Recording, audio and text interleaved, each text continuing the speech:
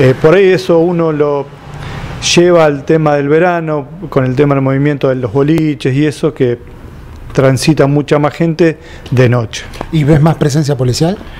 Eh, sí, la policía anda, anda. Eh, Pasa que bueno, la, la cuadrícula es grande, el patrullero anda, pero bueno, eh, hay que tener un poco de paciencia.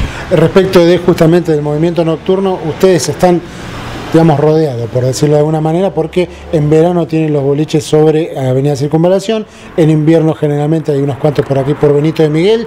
¿Cómo están manejando este tema? ¿Qué inquietudes te presentan los vecinos respecto de esto? Bueno, el tema del verano ya se ha hablado con el tema del sonido. eh, y ahora en Benito de Miguel, Perdón, cuando hablas del tema del sonido, ¿qué es lo que has hablado? ¿Con quién plantearon?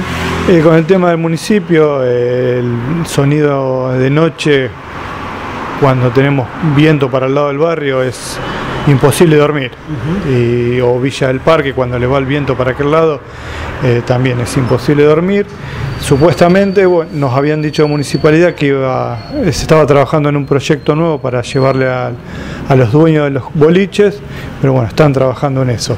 Y ahora en Benito de Miguel eh, hay dos o tres confiterías, hay dos que están clausuradas, eh, pero bueno, eh, se ve sin movimiento de patrulla, de policía, eh, y bueno, lo que sí siempre pedimos que la gente se tranquilice un poco, que no es fácil, eh, pero bueno, es dejarlo, por más fuerza policial que pongas, sí, Sí, hay que tener conciencia entre todos. totalmente, totalmente. Por último, Walker, contame cómo están trabajando la sociedad de fomento, qué están haciendo, hay servicios en la sede, están trabajando en eso, ¿Qué- en qué, cómo se están reuniendo.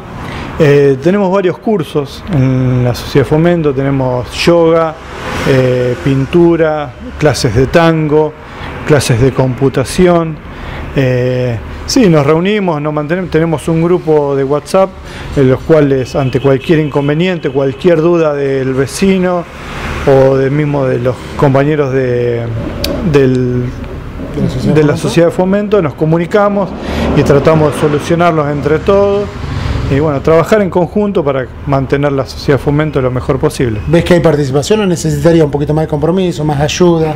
Y siempre se necesita un poco más de ayuda, compromiso, que la gente de último que se acerque a ver qué es lo que la sociedad de fomento les propone al vecino, ya te digo, con estas clases gratuitas eh, para todos. Eh, Tenemos mu- mucha gente que viene a las clases de gimnasia y de computación, pero bueno, estamos abiertos para que venga mucha más gente y poder agrandar la sociedad de fomento y que todos se sientan cómodos y puedan usarlo.